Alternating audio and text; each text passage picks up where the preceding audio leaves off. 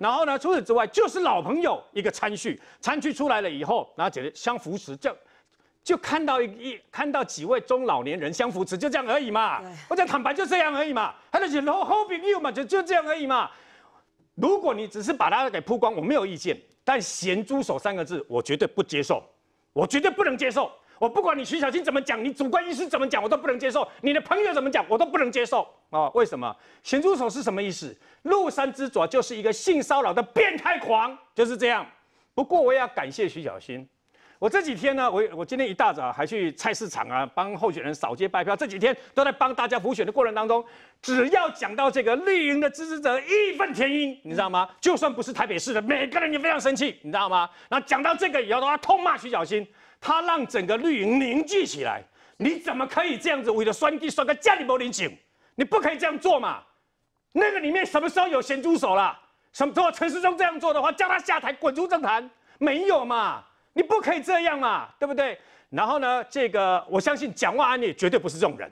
蒋万安他只是敢这样讲说，花乎情，止乎礼，保持距离，这很难呐，各位，这是网络随便找都可以找得到的嘛？对啊，很难嘛，各位。非常困难，你遇到亲朋好友，遇到你的热情支持者，怎么办？怎么可能不我懂嘛？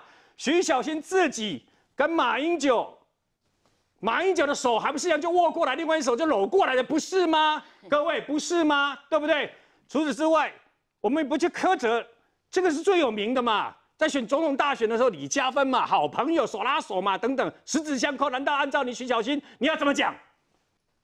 我举我自己为例就好了，嗯，对不对？我去帮人家助选的时候，那个台湾台湾人有多热情啊，过来过来跟你整个正个翕相，我就就跟你烂，你知道不？我点两用淘金，你知道吗？我跟你讲，我每次我我第一次遇到的时候，我都觉得我都愣住，我说没想到我六十岁还有这种机遇，我这个厚脸皮的人还会脸红。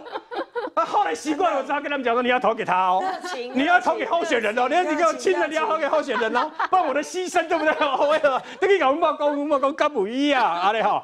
我跟你讲，台湾人的热情超过你想象之外。难道难道哎，如果被你拍到了，变成我怎样？嗯，我跟人家合照，然后人家搂着我的手，变成我伸出咸猪手，我性骚扰吗？不可以这样对待人，你别成酸鸡酸个家里无人性。